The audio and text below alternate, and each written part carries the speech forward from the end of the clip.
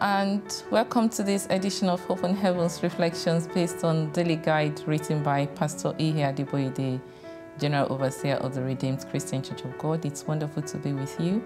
My name is Foyeke Christiana Tolani, and I'm a pastor with Christ Love Assembly, a parish of the Redeemed Christian Church of God in Oxford. I just want to quickly remind you if you don't have a copy of the Open Heavens Daily Guide, please make sure you get one. It's a highly recommended uh, guide for you this year, and I know that you will be blessed as you use it in Jesus' name. So you can get copies from either calling OHTV or the Redeemed Christian Church of God Central Office. God bless you.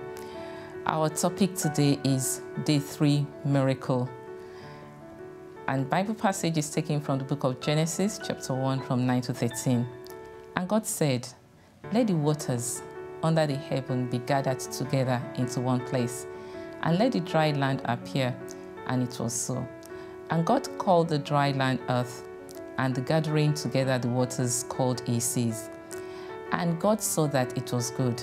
And God said, Let the earth bring forth grass, and the herb yielding seed and the fruit tree yielding fruit after its kind, whose seed is in itself upon the earth.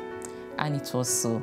And the earth brought forth grass and herb yielding seed after its kind, and the tree yielding fruit, whose seed was in itself after its kind.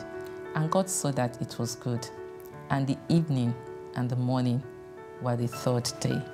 Our memory verse still Genesis chapter 1 verse 10. And God called the dry land earth, and the gathering together of the waters called he seas. And God saw that it was good. Our reflections. As you would recall, we are discussing the first six, six days of the year, issues that will impact our lives for good and shape our lives for the best. Today being the third day of creation in the passage that we're actually dwelling on, God is something that is unique. He created an order of things. It was as if prior to this day, things just existed haphazardly without any known order of things. God did not like that and he stepped into the situation and created a sense of order by gathering all the waters into one place and seas into another place.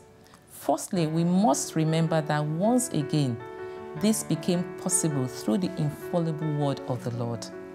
All the creation obeyed the word of the Lord, and that brought some order into our world. From that point, God set in order the course of the earth, of the world. Our God is the God of creation and provision.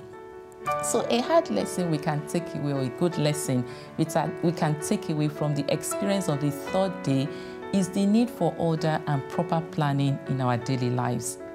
As we can see from this account, our God is the God of order. Without order, it will be impossible for us to achieve the level of success that we are meant to achieve in life. Secondly, the Lord created the land mass and the sea so that they can be mutually supportive of each other.